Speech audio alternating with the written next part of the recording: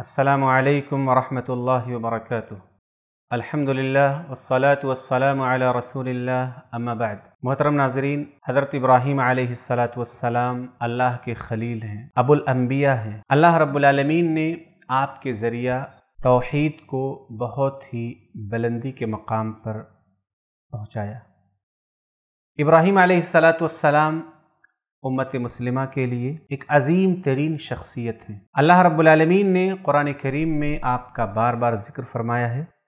सूर इब्राहिम में अल्लाह रब्बुल ने इब्राहीम सलाम की दो ख़ास दुआओं का ज़िक्र फरमाया है।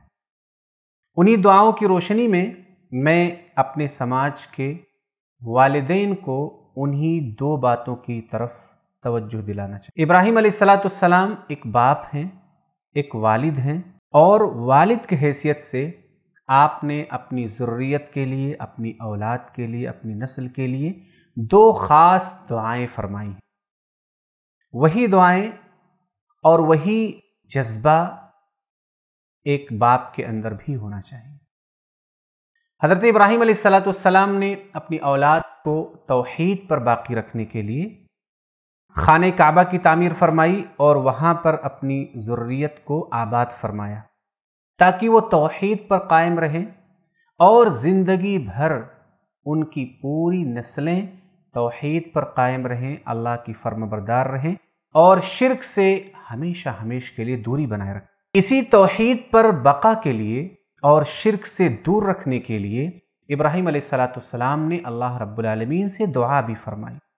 आपने फरमाया व जुनूबनी व बनी अन्ना और मुझे और मेरी औलाद को इस बात से बचा कर रखना कि हम बुतों की परस्तिश करें बुतों की इबादत और परस्तिश से ए हमारे रब हमें और हमारी औलाद को महफूज रखना इसलिए एक वालिद को चाहिए कि वो अपनी औलाद को शिरक से दूर रखने के लिए हर मुमकिन कोशिश करे और अल्लाह रब्बुल आलमीन से दुआ भी करता रहे कि ए अल्लाह, मुझे और मेरी औलाद को शिरक जैसी ख़तरनाक चीज़ से महफूज रखना क्योंकि शिरक एक ऐसा जुर्म है जिसकी मौजूदगी में अगर आपकी मौत हो जाती है तो आपके लिए हमेशा, हमेश के लिए जन्नत का दरवाज़ा बंद कर दिया जाता है। और ऐसे इंसान का ठिकाना अल्लाह की जहन्नम बन जाता है। लिहाजा शिरक से पूरी तरह से दूर रहें और अपनी ज़रूरियत को बचाने के लिए कोशिश भी करते रहें और अल्लाह से दुआ भी ये पहला दर्स है जो हज़रत इब्राहिम सलाम की ज़िंदगी से हमें बहसीत एक वालिद के मिलता है।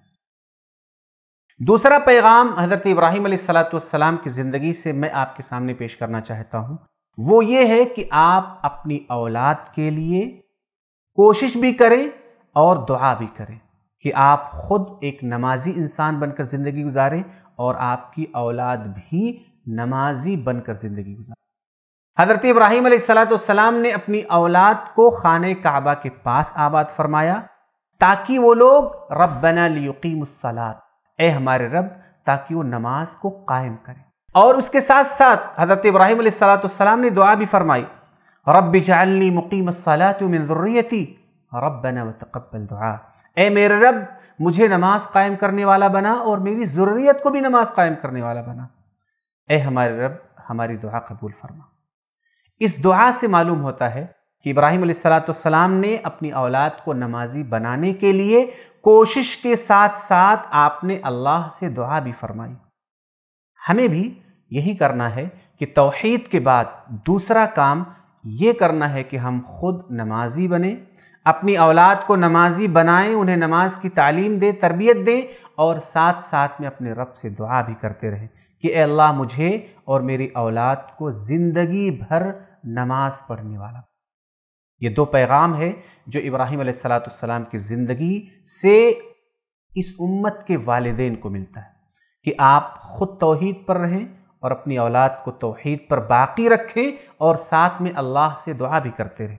आप ख़ुद नमाज़ पढ़ें अपनी औलाद को नमाज़ की तालीम दें और अल्लाह से दुआ भी करते रहें कि अल्लाह रब्बुल आलमीन आपको और आपकी औलाद को नमाज़ पढ़ने वाला, नमाज़ को कायम करने वाला बना दे।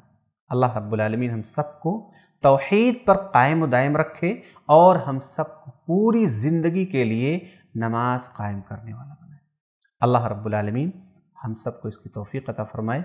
आमीन। अल्लाम वरहमल